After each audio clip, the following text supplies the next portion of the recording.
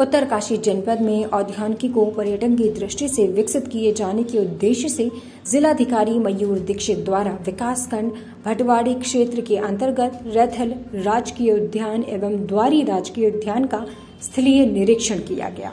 जिलाधिकारी के द्वारा सर्वप्रथम रैथल राजकीय उद्यान का स्थलीय निरीक्षण किया गया। उसके बाद द्वारी राजकीय उद्यान में उन्होंने निरीक्षण किया। उत्तरकाशी से दीपक नौटियाल की रिपोर्ट। बहुत वर्षों पुरानी समस्या है यहाँ पे जाम की नगर पालिका के मेन रोड बड़कोट में। और इस जाम को देखते हुए हमारे जिलाधिकारी डीएम साहब ने भी यहाँ आकर मुआना किया था कि हम यहाँ कुछ गाड़ियों के लिए पार्किंग की व्यवस्था करेंगे।